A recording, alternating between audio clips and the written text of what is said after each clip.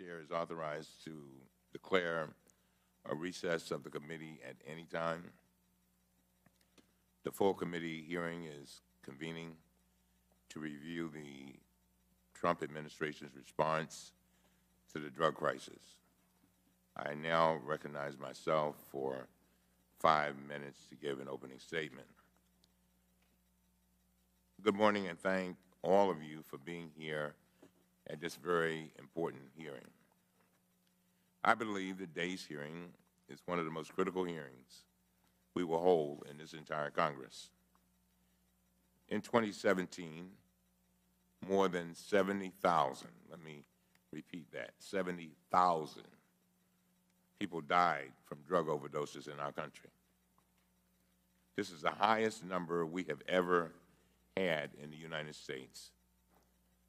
Families across our great nation in red states and blue states and purple states and big cities, suburbs, and rural areas are struggling with the devastating consequences of this generational crisis. On our committee, our members have many differences.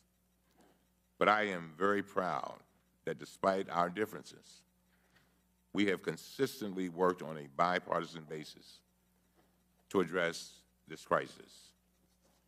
For example, when the Commission chaired by former New Jersey Governor Chris Christie issued its uh, report back in 2017, our chairman at that time, Trey Gowdy, agreed to come to my district to hold a hearing uh, where Governor Christie gave recommendations from the Commission.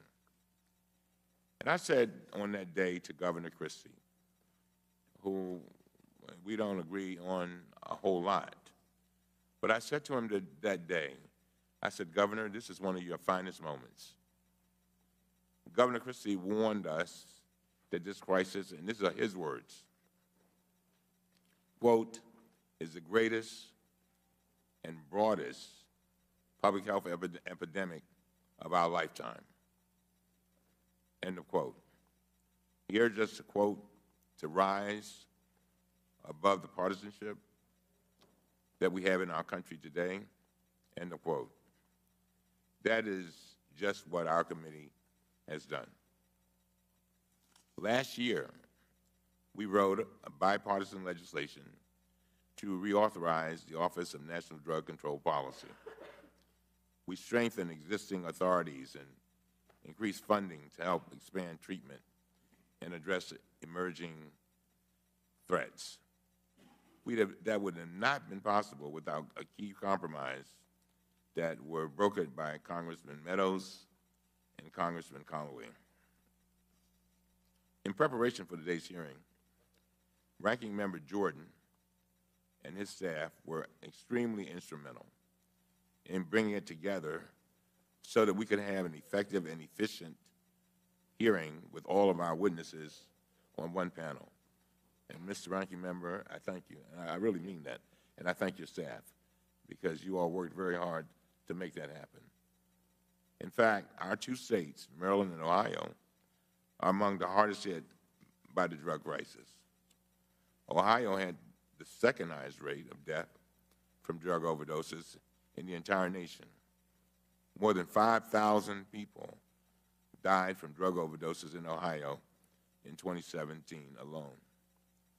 In my home state of Maryland, we ranked seventh in the rate of drug deaths, with more than 2,000 deaths from drug overdoses, including 761 in Baltimore alone. These include people like Joseph Banks. And listen to this one. Joseph Banks, a young Baltimore City police officer who died of a drug overdose just last month. Unfortunately, in contrast to our bipartisan urgency here in Congress, the White House office charged with leading our nation's efforts to combat the drug crisis has been missing in action as deaths continue to mount. There's both a leadership vacuum and a competence vacuum at the head of ONDCP.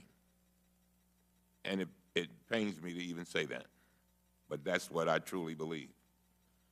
Under Federal law, one of the most basic, important jobs of ONDCP is to issue a national drug control strategy. However, in all of 2017, the Trump administration failed to meet this most basic statutory requirement. In 2018, it was no different. No strategy was issued. Let that sink in for one moment. 70,000 people. Every time I go to Ravens Stadium, I look around and I think, that's a stadium that holds about 70,000 people. We lose that many people every year. So for two years, more than half of President Trump's term, the White House had no national drug control strategy. None. None. All while tens of thousands of people were dying, and the crisis was escalating every day. You know, we will talk a lot about deaths, but we also need to talk about not only the dead, but the living. The people who are in the pipeline for death. The people that are in so much pain, they don't even know they're in pain. So there was no sense of urgency. There was no sense of passion or purpose. Finally, this past January, the White House issued its long-awaited strategy. But when we got it, we could see immediately that it was no strategy at all. It was a 23-page pamphlet. It fails to meet even the most basic requirements in the law. It does. I don't think anybody in this room, we legislators, if we were presented with this, would be satisfied if our staff presented this to us. For example, it does not include detailed goals or objectives to combat the drug crisis. Today, the Director of ONDCP, James Carroll, is finally, finally appearing before the committee. But it wasn't easy to get him here. Last year, I repeatedly asked for Mr. Carroll to testify before us as the acting director of ONDCP in 2018, but he refused. In January, shortly after I became chairman, I sent him a letter inviting him to testify. But we delayed the hearing to accommodate his last-minute trip to China to examine issues related to opioids. However, however, after we arranged for Director Carroll to appear today, he sent a letter saying that his attendance was, quote, conditional, end of quote, on his demand to testify on his own panel without experts from the GAO. That was despite the fact that Chairman Meadows held a hearing in 2015 with the previous head of ONDCP and GAO, both on the same panel. A few days after that, Mr. Carroll sent another letter asking for yet another delay. Mr. Carroll, I must tell you that I, I at least wonder whether your priorities might be misplaced. Think about all those days and weeks and months you spent avoiding and delaying today's hearing, trying to fight us with regard to your appearance. That was a waste of everybody's time. And one thing I'll say to this committee, I want to be clear, I'm not wasting your time. Life is short.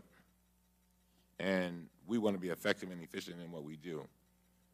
So all the while, you could have been focused on developing a real strategy with concrete goals and measurable outcomes. You could have been focused on complying with the law that the Congress, that we passed. you could have been focused on saving the lives of tens of thousands of your fellow Americans. But you squandered that opportunity. Those days are lost forever. Just like the tens of thousands of our friends, our colleagues, our children, and our family members.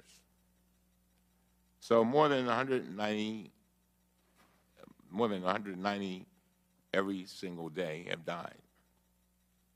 In fact, if today's hearing lasts for just two hours, 15 people will die while we are sitting here explaining why you had no strategy for two years and still don't really have one today.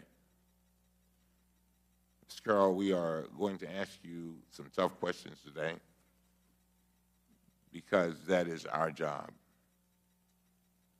And I, and I pray that we will do this in a bipartisan way. So when you respond, you have a choice to make. You can either buckle down and work with us, and so help me God, we, we want to work with you, and we're happy to do that. Uh, it's up to you. All of the members of this committee on both sides of the aisle want to work with you. We want you to be successful. It's important to us. We are your authorizing committee, and we want to collaborate to battle this crisis. We need to succeed. We have no choice. So as I close, I, I want to make it clear that I want to thank the many dedicated professionals at ONDCP who are working day in and day out to tackle this unrelenting crisis we face. And again, and I mean it from the depths of my heart, I do sincerely hope, thank the ranking member for his assistance in pulling this hearing together. He, he basically saved us uh, quite a bit of time, and we'll be able to hopefully do this in an effective and efficient manner. With that, uh, I recognize